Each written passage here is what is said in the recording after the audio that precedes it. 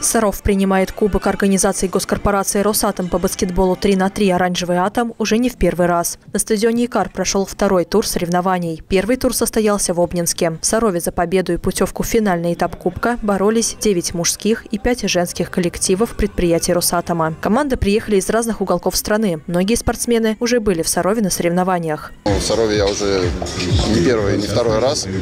И многих я игроков знаю в лицо, знаю по именам. Очень дружеская атмосфера и всегда приятно с людьми пообщаться, вновь увидеться. Стритбол это такая быстрая игра, что комбинации здесь либо самые простые, либо ну, надо очень чувствовать друг друга на площадке. Поэтому в основном все зависит, наверное, от э, мастерства самих игроков. Собственно, поэтому тренировки это так больше физические, ну и индивидуальные. В прошлом году мы уже участвовали в данном турнире, как раз таки в отборочном этапе в прошлом году победили. Надеемся, что в этом году у нас пойдет по этому же сценарию.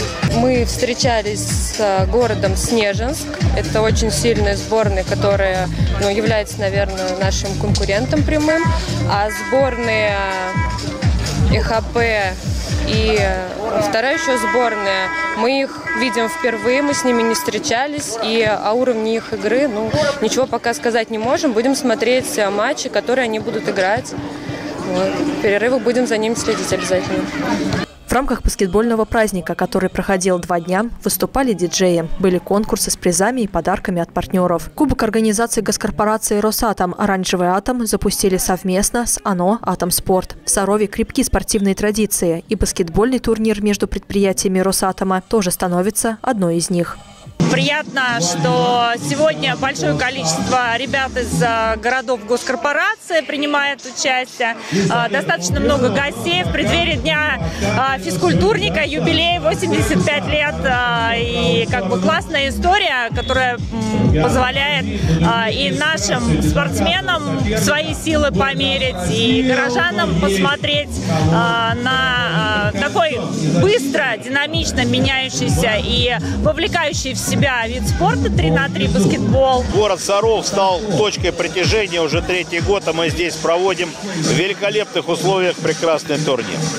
Очень рад, что баскетбол, который придуман для студенчества, для людей с интеллектом, прижился в нашей госкорпорации, получил развитие. И сегодня с большим удовольствием все дивизионы играют. Атмосфера потрясающая. Поэтому я хочу всех нас поздравить с большим, хорошим праздником, очередным праздником, потому что город Саров – это очень спортивный город. В рамках соревнований также прошли мастер-классы для юных баскетболистов Икара, а чемпиона Европы 2007 года Никита Маргунова и заслуженного тренера РСФСР и СССР, члена Зала славы Международной федерации баскетбола Евгения Гомельского. Я просто лишний раз убежден, какие есть красавцы города в нашей стране. И сегодня я получил колоссальное удовольствие и от музея ядерных вооружений нашей страны, и от того, как город выглядит, какая площадка здесь, какой стадион. Баскетбольные команды, которые заняли первые и вторые места, получили путевки в Москву на финальный этап Кубка организации госкорпорации «Росатом». Светлана Ярунова, Руслан Лапшин, Кирилл Новикевич. Служба новостей Саров 24.